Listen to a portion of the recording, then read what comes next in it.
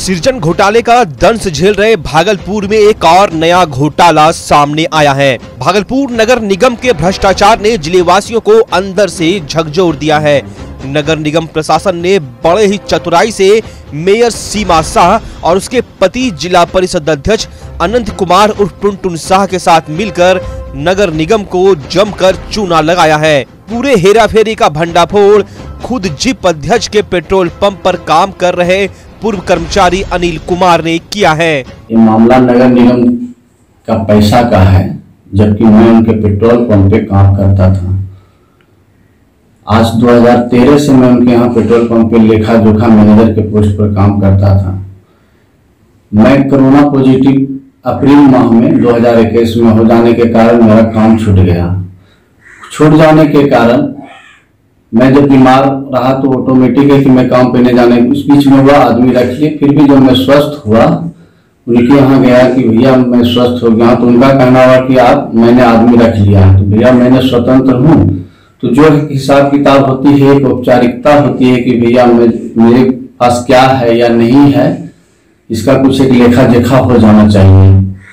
तो उनके द्वारा जब बोला कि ठीक है तो मैंने सारा चीज़ बना के दिया उनका ये आपका बाकी है, बकाया है। उसमें मैंने सिर्फ़ एक चीज़ यही उनसे कहा कि भैया, जो नगर निगम के द्वारा जो पैसा आता था, जो मैं निकाल कर देता था, वह एक साक्ष्य हमको दे दीजिए, ताकि कल भविष्य में आपके या किसी भी सरकार की तरफ़ से कोई यह नहीं आए कि आपने पैसा लिया है। इसी बात को लेकर वो हमारे साथ मारपीट दो दिन बुलाकर इसी बात पर मारपीट करने लगे। मारपीट कहाँ किए थे? वो अपने पेट्रोल पंप पे बुलाकर उसके दूसरे दिन जो उनका एक रोड के पार्टनर है वो बुलाए कि आइए कुछ हिसाब है डीजल विजल का मिलाने के लिए। तो मैं जब दोबारा गया तो फिर वो सोचा कि कहीं फिर यह ना बात बोल देगा नगर निगम वाला फिर वह बोलने से मौका ही नहीं दिया फिर वो गाली गलौज मारपीट। जाति सूचक तरह तरह पहले तो मार के मुँह में मार के सर बोलने का मौका नहीं दिया गया मुझे। उसके बाद वहाँ के आदमी सब आए, क्या बात है, क्या बात है तो हिसाब मांगते हैं तो हिसाब नहीं देता है। इस तरह करके मेरे साथ वो किया। फिर हमें गाली गलौज देकर मारपीट करके भागो यहाँ उनको हम देख लेंगे। बहुत तनाव मन बढ़ गया है। फिर मैंने वहाँ से जाने के बाद थाना में आवेदन दिया। तो वहाँ पर जो प्रभारी थे, वो लिए, उसके बाद अभी तक कोई कार्रवाई नहीं हुआ है। इस संबंध में शाहकुंड थाना क्षेत्र के सुख सरोवर निवासी अधिकलाल ताती के पुत्र अनिल कुमार ने बताया कि वह जिप अध्यक्ष के पेट्रोल पंप पर वर्ष 2013 से ही लेखा जोखा मैनेजर के पद पर काम कर रहा था, लेकिन उनकी मजदूरी का भुगतान नगर निगम से किया जा रहा था। अनिल कुमार की माने तो उन्हें पहले मजदूरी पेट्रोल पंप द्वारा नगद रूप में दी जाती थी, लेकिन 10 दिसंबर 2019 से उन्हें निरंतर नगर निगम द्वारा बैंक खाते पर भुगतान किया जाने लगा।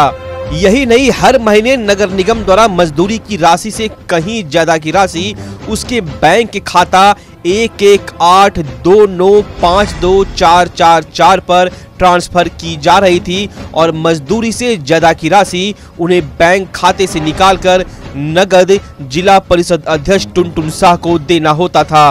इन सब के बीच हद तो तब हो गई जब अनिल कुमार के काम छोड़ने के बाद भी उनके खाते में नगर निगम से लगातार भुगतान होता रहा। अनिल कुमार ने बताया कि कोरोना की दूसरी लहर में, यानी कि अप्रैल 2021 में, वो संक्रमण की चपेट में आ गया था, जिसके बाद वो कुछ महीने घर में ही रहा। लेकिन जब वह स्वस्थ होने के बाद वापस पेट्रोल पंप पर नौकरी करने पहुँचा तो उन्हें टुनटुन शाह के किसी अन्य कर्मचारी को उसके स्थान पर रखने की बात कहकर उसे हटा दिया।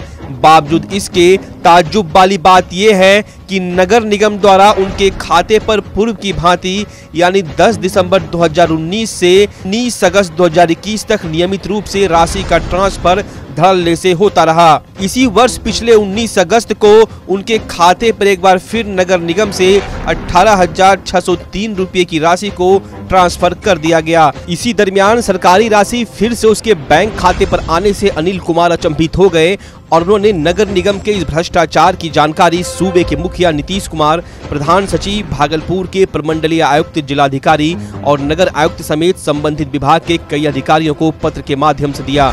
अपने पत्र में अनिल कुमार ने सरकारी राशि की दुरुपयोग संबंधित शिकायत को विस्तार से लिखा है। उसके साथ इन्होंने इसका पुख्ता साक्ष्य भी आवेदन के साथ मुख्यमंत्री, प्रधान सचिव और अन्य अधिकारियों को भेजा है। अनिल कुमार ने बताया, जब पूरे मामले का उन्होंने भंडाफोड़ कर दिया तो इस पूरे खेल पर पर्दा डालने के लिए 20 अगस्त को नगर निगम के कथित कर्मी साजादा ने उसे मोबाइल संख्या 9709737538 से फ़ोन कॉल कर उन्हें कहा कि भूलवश राशि निगम द्वारा उनके खाते में चली गई है, इसलिए वह उस राशि को वापस कर दे। इसके बाद अनिल ने उस कथित निगम कर्मी को इसकी जानकारी लिखित में देने की बात कही, जिससे कि बाद में उसे कोई परेशानी नहीं हो।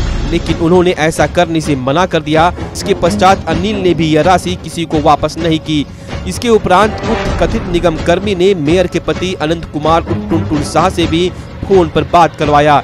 इस दौरान टुनटुन शाह ने अनिल से कहा, अब तो वो उनके पेट्रोल पंप पर काम नहीं करते हैं, इसलिए जो भी राशि उनके खाते पर नगर निगम द्वारा भेजी गई है, वह उस राशि को निकाल कर नगद रूप से टुनटुन शाह को वापस कर दे। इससे अनिल काफ़ी भयभीत हो गया, क्योंकि यह मामला प्रारंभिक तौर पर सरकारी राशि के गबन से जुड़ा हुआ प्रतीत हो रहा था।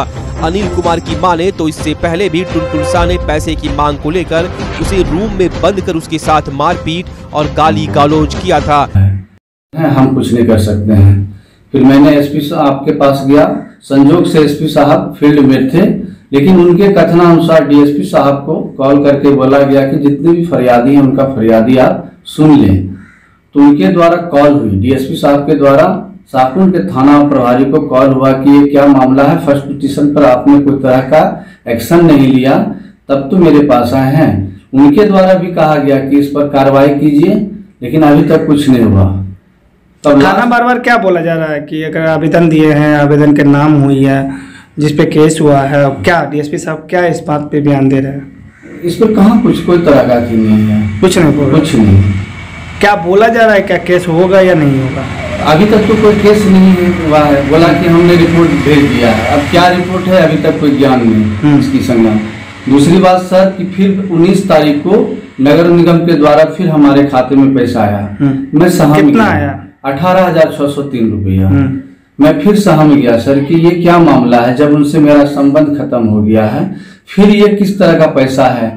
तब इसके लिए मैंने सोचा कि मैं आवेदन दूँ मुख्यमंत्री को ताकि ये सरकारी पैसा है। कोई तरह का अगर बात हो जाती है तो मैं इसका कुछ जान भी नहीं रहा हूँ। जब मैं वहाँ काम नहीं कर रहा हूँ तो ये पैसा मेरे खाते पर क्यों बार बार आ रहा है? इसके लिए मैंने सोचा ही था कि 20 तारीख को नगर निगम से, जिसका मोबाइल नंबर मैंने नोट करके और सेव करके रखा है, उसके द्वारा फ़ोन आया, जो कि उनसे पूछे हम कि आपका नाम क्या है तो बोले शाहजाद करके नाम बताए। तो उनसे बोले कि आप क्या बात है? तो अब मिसमेस के कारण आपके खाता में पैसा चला गया है। तो हम बोले, भाई अगर लिख के दे दीजिए इसका कुछ प्रमाण। क्योंकि बैंक में भी कभी ऐसा होता है तो वे प्रमाणित करते हैं कि मेरे द्वारा गलती होने के कारण होता है। तो उस तरह आप प्रमाण दीजिए, बोला, ऐसा नहीं हो सकता है। तब मैंने इस चीज़ के लिए नगर आयुक्त को आवेदन दिया, जिलाधिकारी को दिया और कमिश्नर साहब को दिया, मुख्यमंत्री को दिया उप मुख्यमंत्री जी को दिया और प्रधान सचिव को दिए। उसके बाद मैंने इस जानकारी के लिए मीडिया साहब का सहयोग लिया कि मुझे बख्शा जाए, क्योंकि बहुत बड़ा बड़ी बड़ी धमकी आती है। कि इस तरह का तुम कर दो, बर्बाद कर देंगे। मैं सहमा हुआ हूँ। मेरा सब परिवार एकदम डर से सहमा हुआ है। अब इसके लिए जो आप लोग का अथी हो, मैं सरकार से इतनी चाहता हूँ कि मुझसे जैसे गरीब आदमी को न्याय मिले और ये सरकारी पैसा का जो भी जाँच हो करके मुझे इससे छुटकारा दिया प्रारंभिक जाँच में अनिल कुमार के साथ साथ अब तक मेयर और मेयर पति के कई निजी सहायकों के खाते में नगर निगम प्रशासन की मिली भगत से लाखों रुपया अवैध रूप से भुगतान किए जाने का मामला सामने आ चुका है। लेकिन कोई भी अधिकारी मामला हाई प्रोफ़ाइल होने के कारण कुछ भी कहने से बचते दिख रहे हैं। मामला जो भी हो, लेकिन जिस तरह से जनप्रतिनिधियों और स्थानीय नगर निगम प्रशासन की मिली भगत से सरकारी पैसे का दुरुपयोग किया गया है, वह एक बड़े घोटाले की ओर इशारा करता दिख रहा है।